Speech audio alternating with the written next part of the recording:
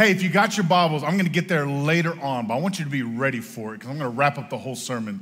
But Luke 16, you can put a bookmark in Luke 16 if you got your Bibles. I'll jump into that in just a moment. And I do believe God has put something that is heavy on my heart to share with you guys today. And I believe God's going to move in a beautiful way. I really do. And uh, but before I do, I have the honor to serve as the missions pastor here at Hope City and get to see all that. Come on, we how many love your church that we love to reach people, and I'm thankful we're part of a house that we don't just exist for Sundays, right? But Sundays launch us out to help people Monday through Saturday. And uh, every single one of you are a part of that. Whether you're serving and jumping on a missions project, whether you're, you're giving, your generosity helps fuel the mission of our church, your tithe and then your offerings over and above, and all that we've done through disaster relief and days of hope. We truly are a church reaching people saying hope is here from neighborhoods to, shout it out, to nations, to nations. And I thought it would be amazing. Here we are, the first half of the year is already gone, and I want to show you where your generosity is okay if I just brag on you a little bit in our church? Awesome, three people. Is that all right if I just brag on our church a little bit? I told y'all get ready. We're gonna shout a little bit today, all right? If you're an introvert, like, like just get ready, okay? You're gonna shout. All right, here we go. We'll shout for you. But uh, I want to share some things on how your generosity in our church is making an impact around the world, around the nation, and here in our city. Uh, first of all, if you didn't know, we, we partner with an incredible organization called FAM. And they have teams all over the world, but specifically us as a church, when we give and we serve and we have teams go, the team's gonna throw it up there. We are going directly into India and Pakistan. And hear this, I'm gonna, let, it's incredible. Look at that. That's a house church. And here, let me throw these stats out here, and I want you to go crazy, all right? And, and, and listen to these stats. Because of you, since January, by partnering with FAM, Hope City, you've helped train 3,368 leaders. They've had They've had over 1,100 water baptisms. Come on. And now this is where you need to really shout. Because of you in Pakistan and India, you have planted this year 241 local churches, house churches, preaching the gospel. Come on. Phenomenal. I want to share this with you because you didn't, maybe didn't even know that this is where your giving is going to make an impact around the world. We need to go to the places where hope rises. Amen on that? Thankful for the pastors and we're thankful for our friends with fam. And we got a dear friend, she's a part of the house, Gary, and has an incredible ministry in Uganda called The Vine. We, I probably got some friends who've been on a Vine trip, and, and uh, we actually, they're on the ground right now in Uganda. In fact, our team, they sent me some pictures the other night. Check this out. Like they're, they're holding crusades, and right now, this week, this is something to celebrate. They have already served over 2,000 people with food and medical care and salvations and needs. They're empowering women. They got a school for orphans and bringing them off the street. And I love this because y'all know I'm passionate about prison ministry. They went into a prison two days ago, and 37 prisoners got saved in the middle of Uganda. Come on! That's what's up. You are a big part of that from neighborhoods to nations, and I could share multiple other things in the Philippines and different places that we are and all that God is doing. And we got friends here locally in our city, friends like Cuts for Christ, who've already cut hair with over 300 homeless friends in schools and partnering with the schools. How many know when you get a fresh cut, you just feel better? Am I right? Like when you look good, you feel good. You feel good, you live good. You know what I'm saying? It's like, it's like it, it feels great, and we're thankful for them and so many different things. And one of the things we're passionate about with local message is if you're new to church, you'll get to know this. And uh, if you call Hope City home, you probably already kind of know my family and our story. And a big part of our church is we love to go into the prisons around the state of Texas. Come on. How many thankful for prison ministry? Amen. We go in with one mission. You might be in prison, but prison don't have to be in you.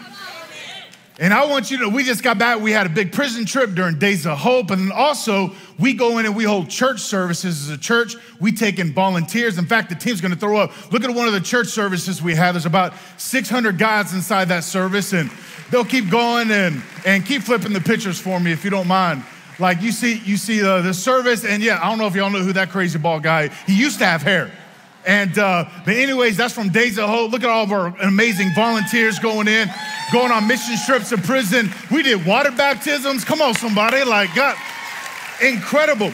Now here, here, let me get Let me get these stats out and then I need you to shout like crazy. This year, so far, through our prison ministry outreach outreaches of Hope City, sending in teams, providing church services, we have seen 19,934 prisoners, men and women, attend one of our church services. Hold on. We've seen 812 water baptisms. And where you go crazy. We've seen this 4,514 men and women in prison commit their life to Jesus. Come on, so.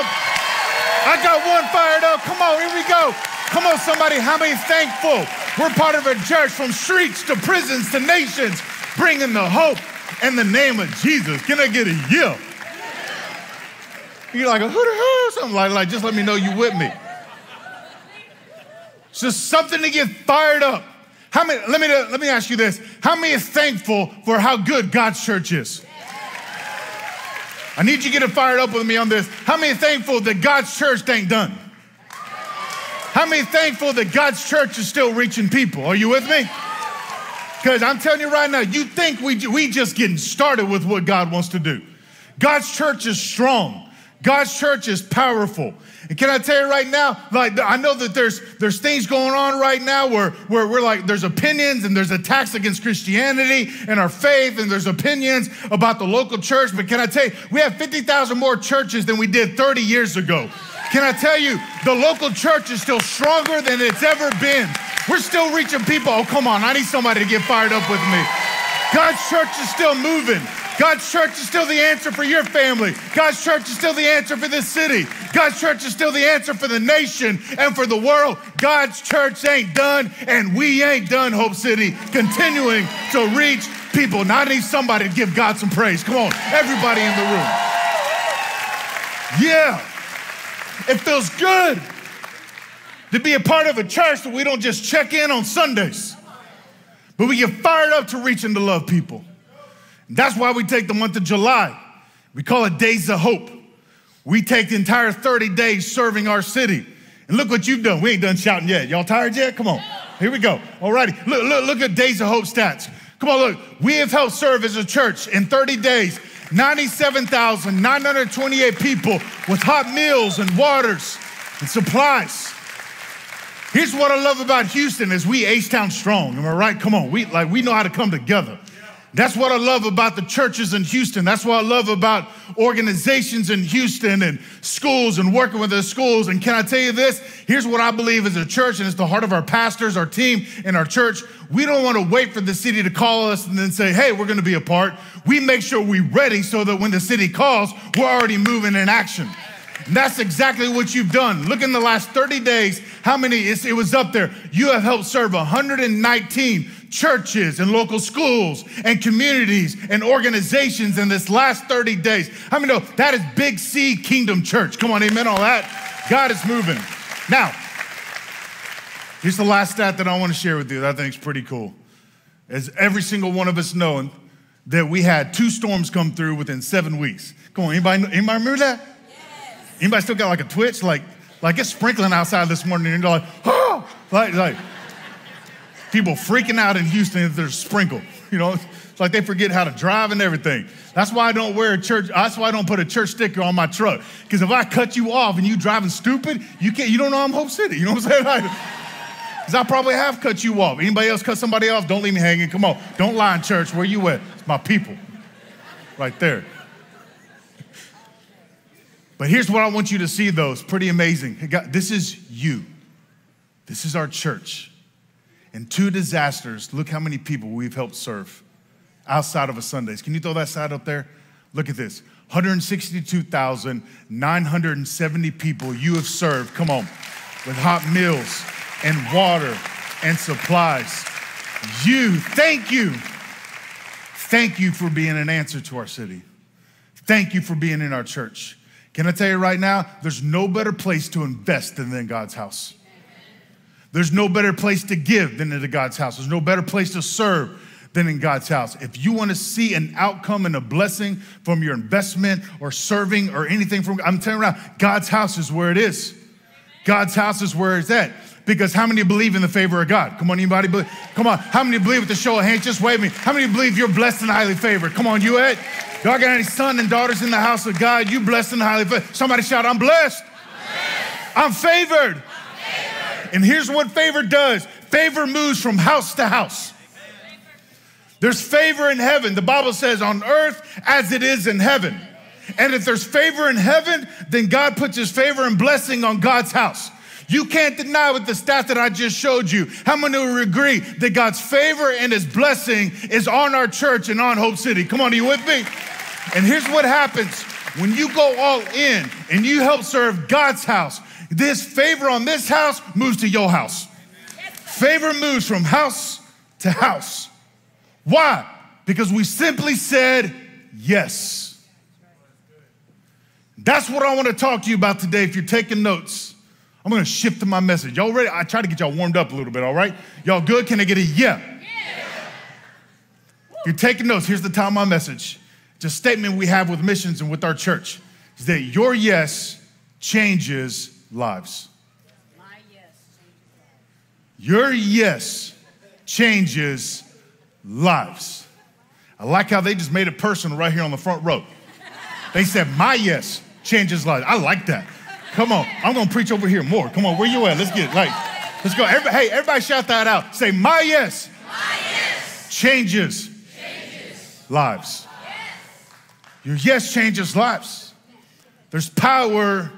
There's power in the yes. You didn't have to learn how to say no. You didn't have to teach your kids to say no. They just like no.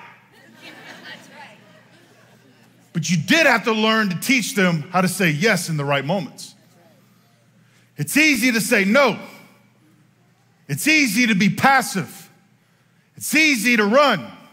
That's why we got a fatherless generation. It's easier to say no than it is to say yes.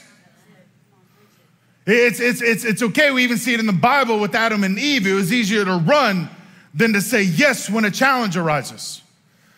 I've learned this that a maturity as an adult and the maturity of a believer begins to step in when I see you saying yes more than no.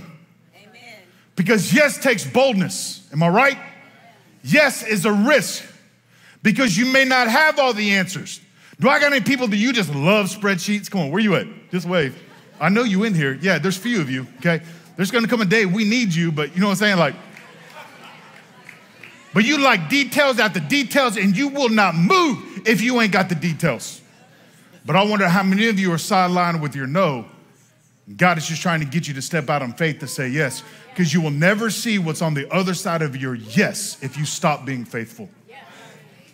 There's power in yes. Somebody shout, yes. yes. Just feels good. Think about, look at this scripture. Second Corinthians 1, verse 20 says this for all the promises of God, not some, all the promises of God. Every prayer that you have, every dream that is in your heart, everything you believe in God for, for your family, your marriage, your business, your ministry, the call on your life, all of God's promises. Look at this. What does it say? They find their yes in in him. That's why it's through him that we utter our amen to God for his glory. I know y'all think like we cra- crazy up here, like shouting amen all the time and going. The reason why we shout and we get excited is because we know our yes is found in Jesus. If we didn't know Jesus and what he's done for you, if you knew all my story, I'm telling you right now, you would understand why I shout. That's why you can't ever judge somebody's praise. Because if you knew what they just came through, if God healed you from cancer, you'd be shouting, you'd be rejoicing. If God healed you from addiction, you'd be taking a lap, you would be getting fired up. How many know our yes and our joy is found in Jesus? There's a gift of saying yes. Can you imagine some heroes in the Bible? If they had said no instead of saying yes. Think about Noah. He would have never changed the legacy of his family if he said no. Would never reset the earth in God's heart. We're thankful for his, his yes. Think about Abraham. What if he had said no instead of yes? Trust in the Lord that even in the wilderness, not knowing where he was going, he looked at Abraham and be like, yo, I need you to go there. He's like, where, God? It don't matter. Get on I-10 West and I'll tell you when to stop. There's so many of you in the room right now, you wouldn't even get off the ramp and pull out your driveway because you don't know your destination. Imagine if Abraham would have said no instead of yes, he wouldn't be the father of faith that we can lean in. That's why there's that scripture against hope, in hope, Abraham still believed. Because he knew there was a miracle on the other side of his yes. Come, I'm not talking to anybody yet. Are, are you with me? Like, there's, there's something on the other side of your yes. Think about Peter. Peter, he shifted his careers from a businessman into full time ministry. He believed so much in the mission of God. Thank you, Jesus, for Peter. Because if it wasn't for Peter, the mission of Jesus may not have happened. Through Jesus, Peter helped birth the power of the local church because, and now we get the benefit from the blessing of what Peter helped lead and start. Thank you, Peter, for your yes. I think about David. David had an opportunity to go and serve his family. He wasn't even thought about. He had a father who didn't love him family and brothers who didn't care about him. They left him in the field while they went to battle to get all the glory. And then David didn't get caught up with bitterness. He had an opportunity to go and serve his family. And through serving, doing a missions project, signing up on a team, being a greeter, serving in kids, like by serving, God gave him an opportunity to take out a giant, and in that moment, it shifted the legacy of his entire family. He became one of the greatest leaders and kings that we've ever known on this earth. Come on, how many know there's something on the other side of your yes? No gets you nowhere. Yes will get you to where God needs you and wants you to be. But here's what you got to understand is that every yes, you will have a fight to keep your faith. Every yes has a journey. Every yes has a purpose. My first thought I want you to write down is this by your yes changes lives. Is your yes, it has a journey. Notice the subpoint. They're going to throw it up there. Your yes has a journey.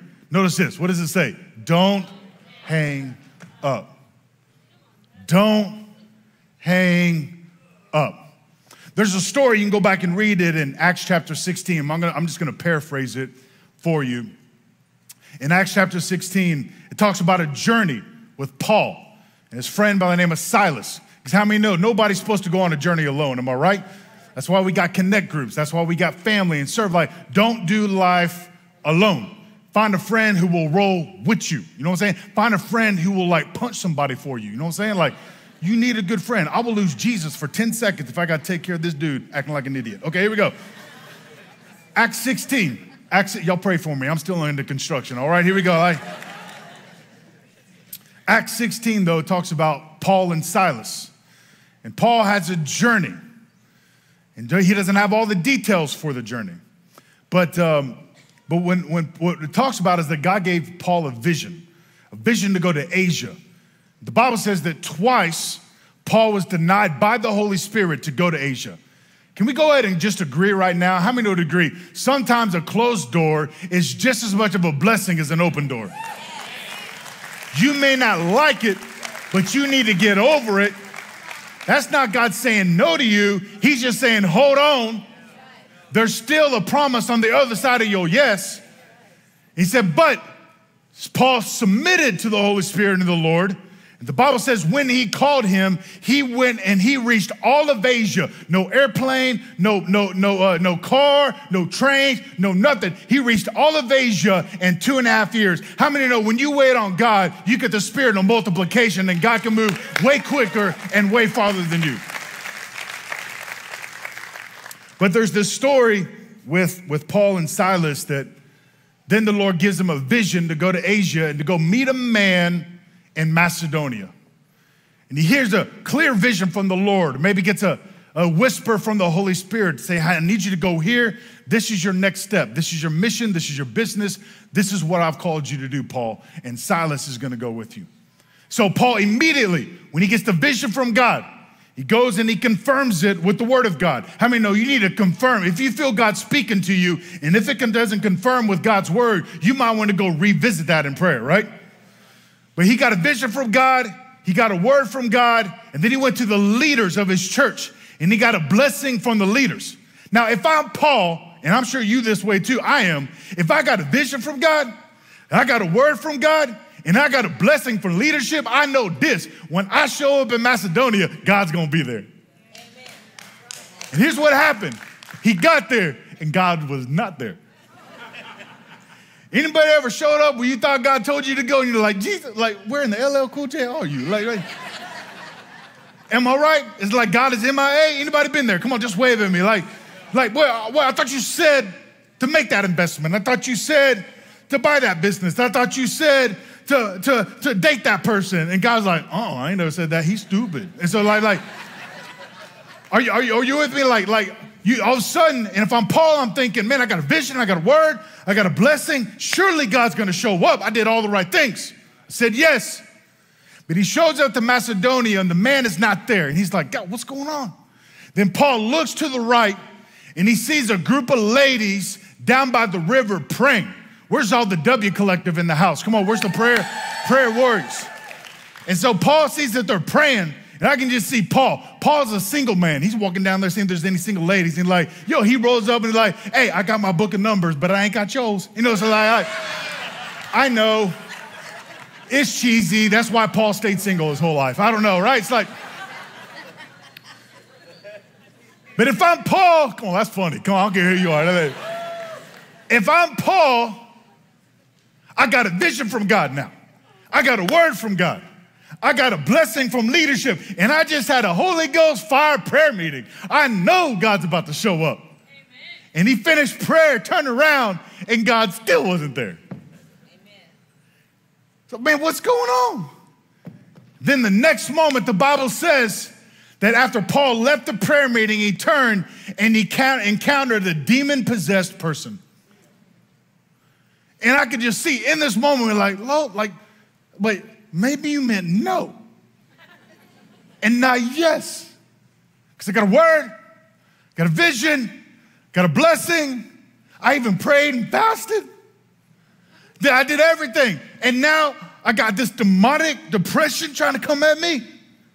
Because we battle not against flesh and blood, right? There's spiritual warfare. And then Paul did what an evangelist does is he had freedom ministry. Come on, how many love freedom ministry in the house? Come on, where's all my freedom ministry? He had like a freedom ministry encounter. It's like laid hands, and boom, they're free. And now, if I am Paul, are y'all following me right now? Yes. Your yes has a journey. If I am Paul, I got a word, I got a vision, I got a blessing. I had a Holy Ghost power, fire came down, prayer meeting. You know, when them good prayer meetings, you know what I'm saying? Like, you, you're like, you kicking, like, hey, prayer meeting. I just had freedom ministry cast out a demon. I know God's gonna show up now. And he didn't show up. In fact, the Bible says, and this is where you'll learn the story, the very next part of the story is that it says Paul and Silas were thrown inside to the depths of a prison. Now, do you know the story? He says they were chained, and they were bound up. And I could see Silas, his homeboy that's rolled with him this whole time, looking at him in the prison cell and be like, I tried to tell you that was your imagination. that wasn't God. How many know you need that friend that's like, I'll roll with you until it all goes wrong? They quick to let you know you missed it, right? But all of a sudden, they went from hearing a word from God, hearing a vision from God, a blessing, a prayer meeting, a deliverance meeting, and now they are in prison. What? God, maybe I missed you. Anybody ever felt like, God, did I miss you? You're like, do I give up now? Maybe I missed you, or maybe God's saying, no, there's still a miracle on the other side of your yes. And here's where Paul and Silas get it. Can I tell you, all of us hit a moment where we feel emotional, imprisoned by our pain or anxiety or depression or questioning God. We don't know how that's gonna work, and we quit right there. But Paul and, and Silas did something different. They didn't run and quit. What does the Bible says? The Bible says that they begin to praise and they begin to worship God. And at 11:59, in the midnight hour, one second left on the clock in the Super Bowl game, baby. In that moment, bottom of the ninth, about to hit a homer. In that moment, the Bible says the chains broke loose and the prison doors became open. And in that moment is when God showed up. So I hear all the time from friends saying, Pastor, you don't understand. I've been believing God. I've got a vision. I know this is this, this. Why does God have me on hold? The best thing I say, if God's got you on hold, don't hang up.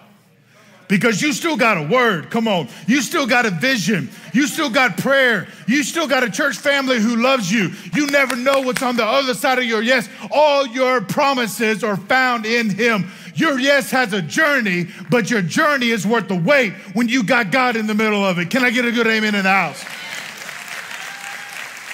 Don't give up on your dream. Don't give up on what God has in your heart to do. It's worth the wait. Is it painful? Yeah. But pain builds strength, pain builds endurance. You won't know you can carry the weight until you feel the weight. Your yes is a journey. Y'all still love me? Come on, everybody good? Y'all good? All right, here go. Here's, here's the second thing. Here's the second thing. Gonna move quick. Your yes, this is personal, it fuels your soul. You need to say yes to reaching people for you. Now, I know we walk around here with gas and and uh, I mean, like going next door in Houston's like going 30 miles. Am I right? Come on, like, like gas is everywhere. Now, I, this is why I need to show, show hands, my people. We're the people that, that whenever you get half a tank, you got to fill up on gas. Where you at? Come on, right? Yep, yep. Everybody look around. You need to be their friend. I'm tell you right now. You, because I know the rest of y'all, you definitely ain't that. Y'all freak out, right? And you're my spreadsheet people, I guarantee you, okay? Like, now, now where's my people at? You wait till it gets a quarter full, and then you freak out and you got to fill up. Come on, where you at? Show of hands, every campus. Where you? Everybody that? Okay. Now, where are the people at? Y'all already know where I'm going. Where are the people at? You wait till that. Will you wait till that that dial hits E, and then you go and fill up? Now that's good. That's great. I just need to know where my people are at. When you wait till that light comes on and you know you got 22 miles left to go. Come on, where you at? Just wave at me. Yeah. I know, I know you. I've seen you on the side of the road with me. I knew you were gonna raise your hand. And the rest of y'all using Waze, and on Waze says, hey, somebody stranded, and you just click yes, and you just keep rolling. Like, that's messed up. You ain't no good Samaritan. He's like, yeah, they're still stranded.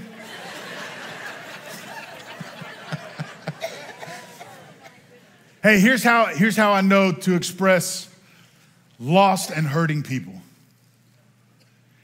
Everybody, right now, if you get honest, you're empty at some level with something. Because if God answered all your prayers at once, you wouldn't need them. There is something that every single person in this room, every campus, every person listening right now, there is something you're holding on to, and you're waiting to see the miracle on the other side of your yes. And also, everyone around you, your family, your neighbors, your friends, your co-workers, your employees. There's something that they're feeling empty on at a different level. And the question is, who's gonna bring them the good news of hope? You can't just count on this stage to do it all. That's why we say we family. Our jobs, we pray that Sundays fill you up to go and take the good news back to where you are and to your family everywhere you go so that you can remind them they may feel empty no matter what level they're on, but with Jesus, it can fuel their soul again. Can I get a amen on that? You believe that?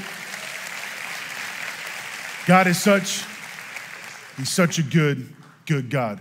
And here's, here's my last point to you. Here's my last point to you is this is that your yes is eternal. Your yes is eternal. My skin's got a bad leak in it. Come on, sweating up here. Y'all working me. Y'all ready? Y'all ready to finish strong? Come on. Y'all with me? All right. And I told you to hold Luke chapter 16 because here's what I want to finish with.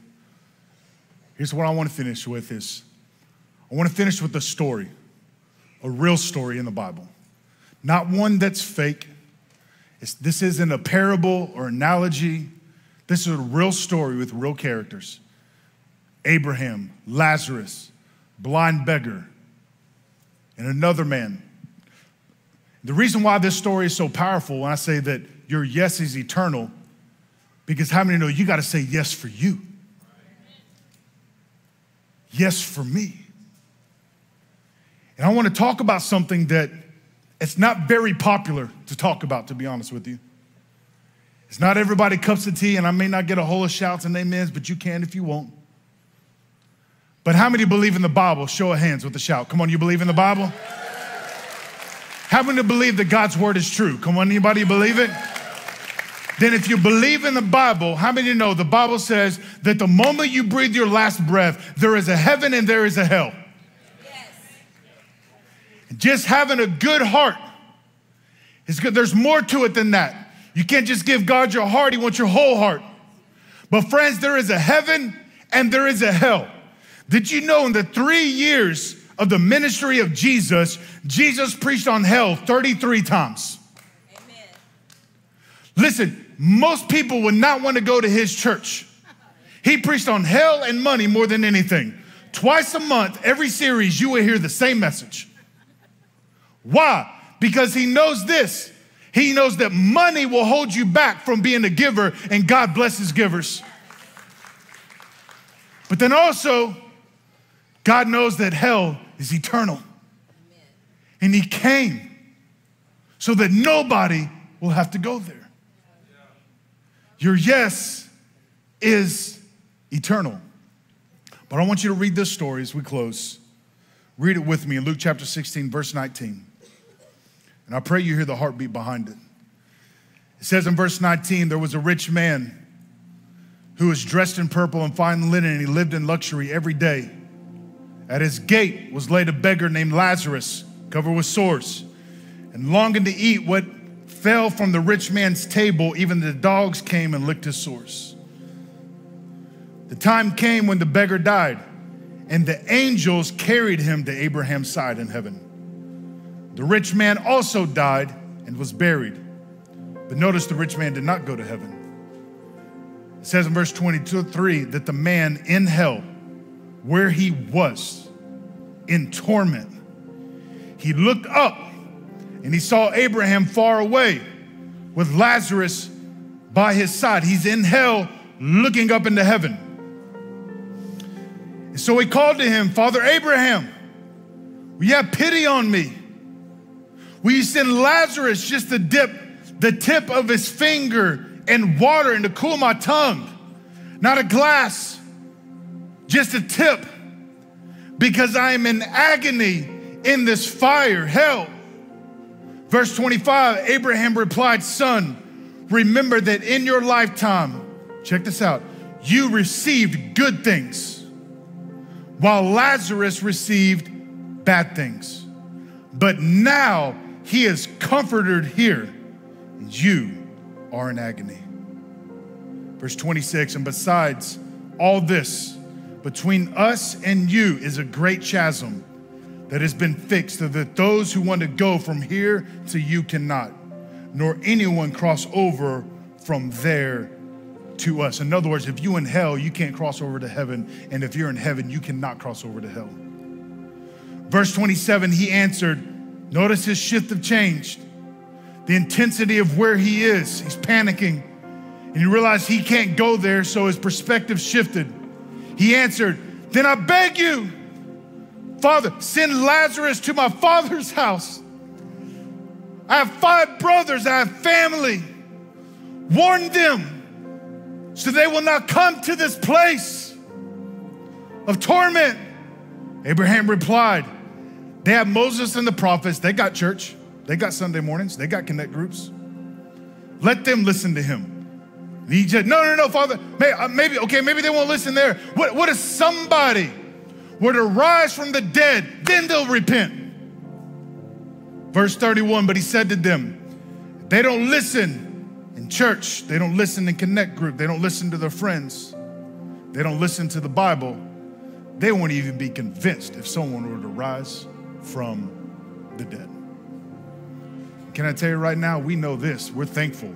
Somebody did defeat death, hell, and the grave. Somebody did rise from the dead, and we're thankful for that answer. But here's the sad part.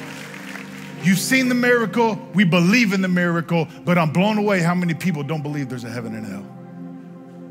And I know this ain't popular, but I'm I'm praying you hear the passion of Jesus behind it.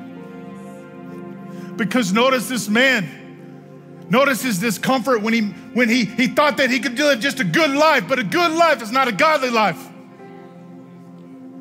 Just saying to, yes to good things and man, I check in and check out in church and think you can be in church and completely miss heaven. It's not about living a good life, it's about living a godly life. With your language, your lifestyle, it's not about we see you at your best on Sunday, but your family know who you really are Monday through Saturday.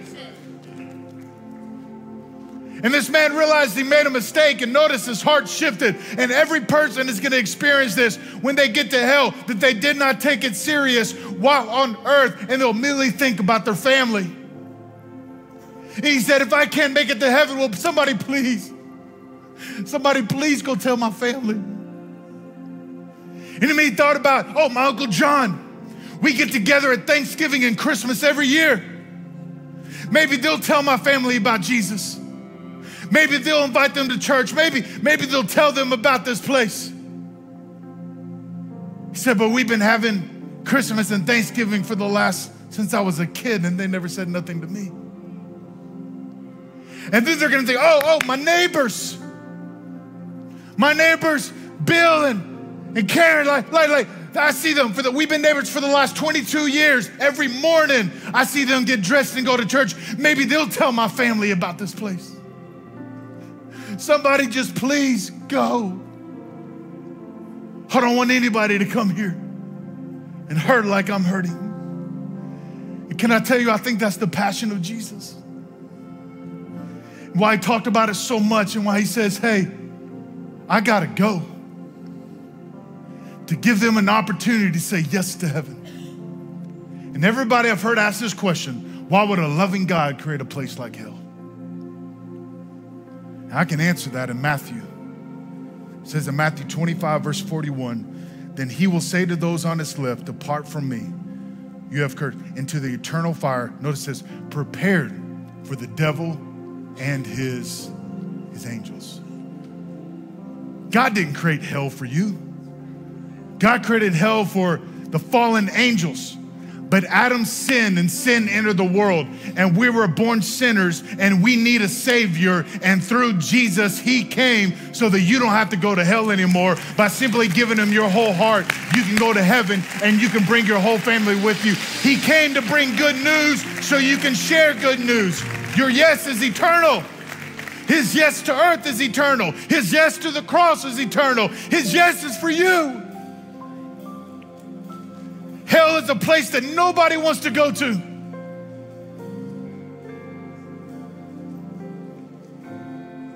The Bible describes hell in a couple of ways. Here on earth, we have two physical properties that we rely on that bring us peace light and solid. If I can just see a glimpse of light, if I can just get a flashlight, if I can just light a match, if I can get a little bit, then, then I felt, oh man, I got a sense of direction now. The Bible says that hell is utter darkness. You can't see nothing. And then solid. If I'm falling, I can, I can grab this podium. You, you're sitting in a chair. You find comfort by sitting in that. The Bible describes in Revelations multiple times that hell is a bottomless. I don't know how God did it, but you're literally suspended in there in utter darkness for eternity. Then there's two emotional properties that keep us stable it's rest and it's hope. If you don't find rest, you go crazy. You begin to lose your mind. You have vain imaginations, the Bible says. Rest is everything, but the Bible says in Revelations 14 that torment lasts forever and ever, and there is no rest day or night. And then there's always hope in this world. Because of Jesus, we have the hope. There's a miracle on the other side of your yes. But in hell, there is no hope. Because every person in hell, 10,000 centuries later, will have not spent one less day in this place because it's eternal. Can I tell you, friends, though, the good news is this God did not create hell for you, but He did create heaven for you. And the moment, You got to realize deep down on the inside of you, no matter what you're facing, no matter what you're going through, 98% of your heart is in your whole heart. 99% of your heart is in a whole heart. Your yes is eternal. Say yes for you. Say yes for your marriage. Say yes for your family. Say yes to bring the good news to people around you. Can I tell you, I don't know about you, but I say this is family to me. I want to party with my family in heaven. I don't want to miss nobody. I want my neighbors to come. I want my children to come. I want my family to come. I want all of you to come. It's got to resonate. I hope you hear my heart. Do you hear my heart today? I love you so much. Enough to say, if Jesus talked about this more than anything, it's exactly what we need to talk about as believers. And every day, we're gonna do our best to bring the good news of Jesus. Your yes has a journey. Don't give up on God because He's never given up on you. You say yes and you begin to serve, you begin to love people, start tithing, start giving, start going, and you watch it fuel your soul. And then your, your yes is eternal. Don't play games no more. Stop clubbing, stop drinking, stop smoking, stop looking at pornography, stop everything. It ain't getting you nowhere. Give your whole heart to Jesus. Go all in. Get in the connect group, serve on a team, and you watch you watch God unlock favor and blessing in your house because favor moves from house to house. Every head bowed and every eye closed across all campuses. I'm giving it a moment to just let it sink in. You hear me say this a lot at Hope City, but Jesus didn't die on the cross to be a part of your top three. Died to be number one in your life. You got you got to let shame go away, let pride die. At every little campus you're watching in right now, you're gonna have a moment to respond. On the count of three, I'm gonna ask you to shoot your hand up. To give God your whole heart. Some of you, it's for the very first time. Some of you need to rededicate your life, but don't leave here today questioning whether you're gonna go to heaven Your response right here, your yes is eternal. If you're watching online, you can just type Jesus in response. Let us know. You can click the salvation tab right there. And just as much as watching the Astros game, throw their hands up for a home run ball. Let heaven celebrate with you today. On the count of three, I want you to throw your hand up with boldness. If you're saying, I need you, Jesus, in my life, I need to give you my heart, or I need to rededicate my life. I want you to throw it up and I want you to keep it up. Hands are already going up. Ready? One, two, three. Show it up. Keep it up. Keep it up. Keep it up. Just keep it up. Yeah, come on, just keep your hands up. Hands are going up everywhere. Come on. Katy Richmond, where you at? Woodlands, let me see you. Come on online, keep it up. I'm not trying to get a camera shot. I just want to see you. Come on, church. Hands are going up everywhere. I see a friend. I see a friend. I see you back there. Come on. Amen. So many hands going up. Hey, everybody shout this prayer with me. Everybody shout, Jesus.